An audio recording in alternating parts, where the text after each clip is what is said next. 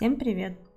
Вы знаете, в прошлом видео многие поляки в комментариях советовали посетить костел Фара.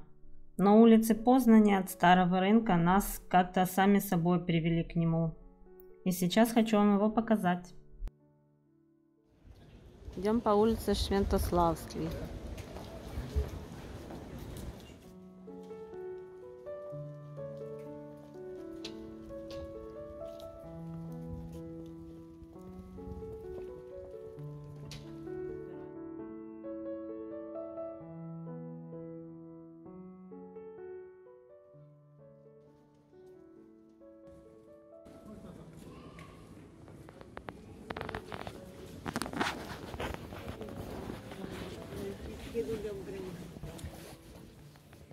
Вход в костел бесплатный, но можно и с экскурсией посетить три разных маршрута. Это маршрут, где вам расскажут про святых, второй маршрут э, по неизвестным местам и третий в подземелье. Если наберется группа от 10 человек, цены 2 злотых за один маршрут, 3,5 злотых за два маршрута и 5 злотых за три. А если меньше 10 человек, то тогда за человека 20 злотых за один маршрут, 35 за два и 50 за три маршрута. Также можно провести экскурсию с органистом всего за 5 злотых. Там вам покажут э, работу органа изнутри, а еще можно узнать, зачем органист меняет обувь перед игрой на органе. Но для этого нужно позвонить и договориться заранее.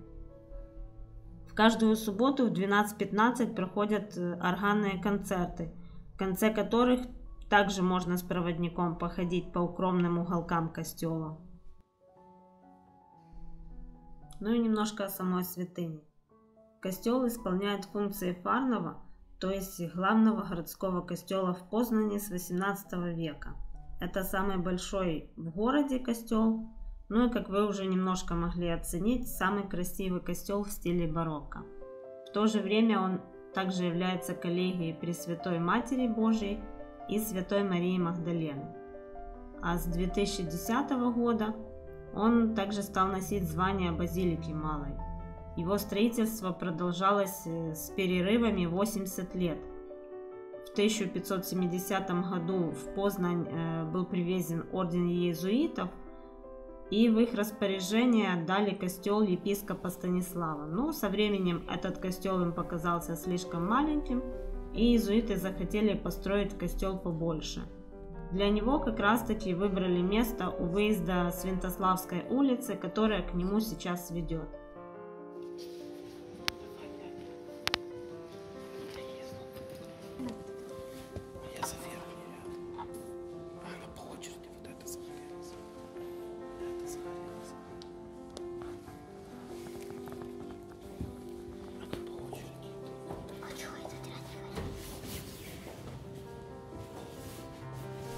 Строительство костела сначала прерывалось из-за нестабильности грунта, потом из-за шведского потопа, когда шведы вторглись в Польшу.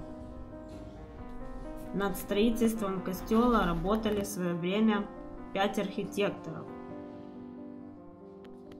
Алтарь в костеле не один. Центральным элементом главного алтаря является образ, изображающий воскресение епископа Станислава. Ну и, конечно, гордостью Фары стал орган, богато украшенный одним из самых известных органмейстеров из Саксонии. И еще на орган дала пожертвование одна анонимная прихожанка, и теперь вроде как ее дух появляется в фаре. Поэтому, чтобы полностью оценить костел во всей красе, Обязательно приходите именно тогда, когда проходят органные концерты, а именно в субботу в 12.15.